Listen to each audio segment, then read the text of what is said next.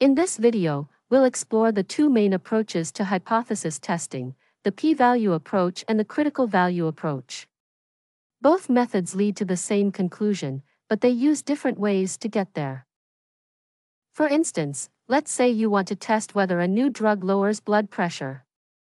The null hypothesis states that here is no difference in the average blood pressure of patients before and after taking the new drug, while the alternative hypothesis states that the average blood pressure after taking the drug is lower. You would then collect a sample of patients, measure their blood pressure before and after taking the drug, and calculate a test statistic. The sampling distribution of that test statistic, under the assumption that the null hypothesis is true, would be used to determine the p-value or critical value for the hypothesis test. After defining the sampling distribution, the next step is to determine how to make a decision about the null hypothesis.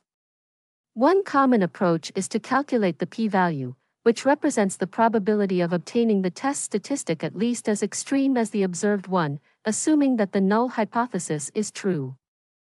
This probability is visually represented by the area under the sampling distribution curve that lies beyond the observed test statistic.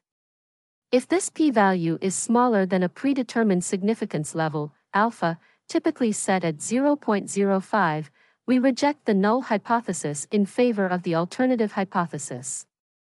This significance level acts as a threshold, indicating that the observed results are unlikely to have occurred by random chance alone if the null hypothesis was indeed true. Alternatively, the critical value approach defines a rejection region in the sampling distribution. The location of the rejection region depends on the significance level, alpha, the type of test, one-tailed or two-tailed, and the test statistic being used. If the test statistic falls within the critical region, we reject the null hypothesis. Both the critical value approach and the p-value approach lead to the same conclusion regarding the null hypothesis, though they frame the decision differently.